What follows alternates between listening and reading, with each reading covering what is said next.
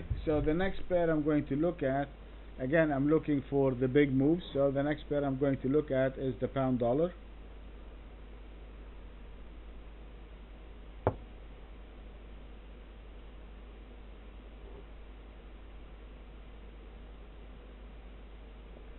No, have a safe drive, uh, have a safe drive, uh, Paula, and we'll have the recordings up for you in a couple of hours. You're not rude at all. Uh, enjoy your drive. Okay, so uh, the next pair I'm going to look at is the uh, dollar, uh, the pound dollar.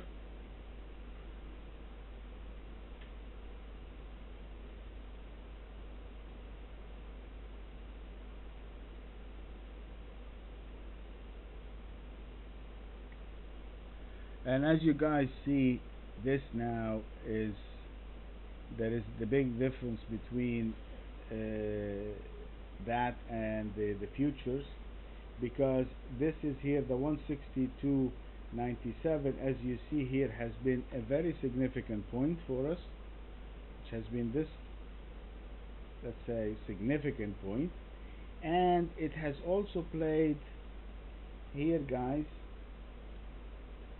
as a minor structure.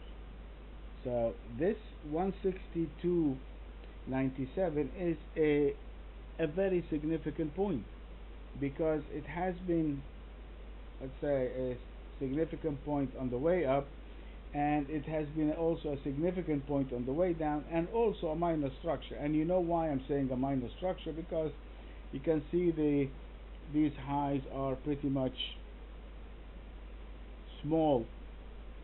So being that kind of small or uh, not so well defined would give us the uh, the understanding that they are of a lower magnitude if you will. But still this is a structure point. Still this is a major significant point. This is a major significant point. This is a major structure point. And now we closed below them. We broke through them and now we ended the week at 162.28 i.e. we are 70 points below that. And that is extremely negative. And the move is now should take us to the second major structure point. And this guys is something for uh, I want to share with you because it's it's brilliant. It's uh, it's one of the things that makes me enjoy doing what we're doing together here identifying the behaviors and stuff like that and we can identify where the prices should be going how the how the, we can have our anticipation of the move. So you see when it, here you had the setup 162.97 and you had a major structure over here and we had some testing of it. So it was a pretty significant now what is the next level that have the similar representation or the similar I mean this price is the representation of the behavior? So you can see that around this area around the 159.80 which is a major significant point we had the same same same behavior.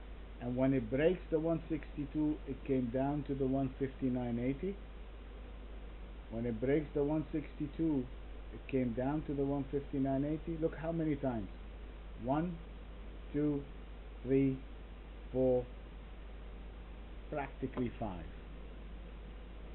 In the span of less than six months.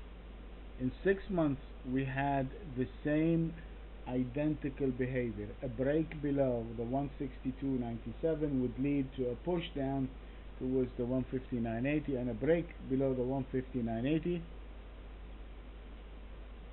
would take us all the way down to the 155.33 so we are in a pretty magnificent setup as far as the pound goes. Our bias is definitely to the short side.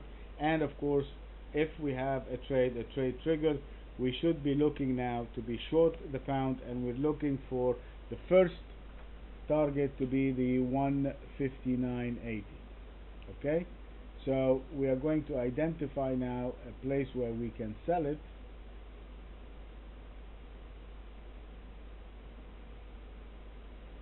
So the selling point is going to be pretty much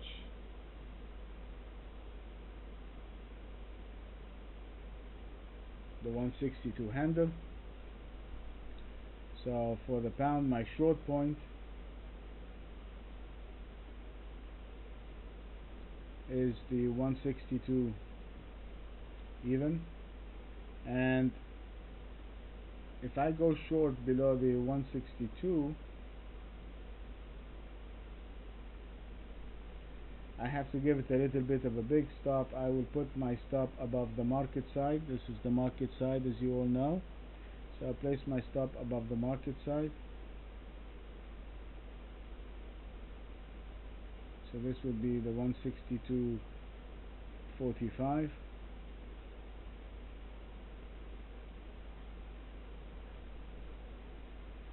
okay. Now on the long side and my structure short in this case is going to be the 159.80 and if it breaks below the 159.80 you're looking for a 500 pip move to the 153 on the long side I have a structure point here which is the 162.97 we closed the week at 162.28 or 162.30 and there is no reason for us to go long the pound as long as I'm having this beautiful this is a good chart as you can ever expect to uh, to, uh, to, to be taking a trade. So I will be buying it only above the 162 97 and it is also going to be my structure point.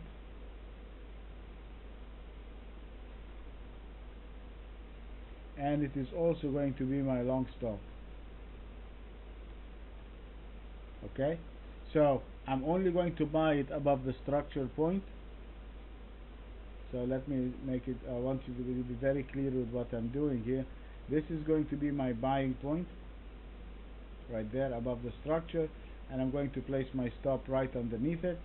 I'm going to go short below the low. I'm going to go short from here below the low and I'm placing my stop over here. And so this is my buy point my structure long and my stop my my short point is here and this is my stop and my next structure is the 159.80 that you can see here on your daily chart. Okay? So this is the pound dollar. All right? And let me stop it. Anybody has any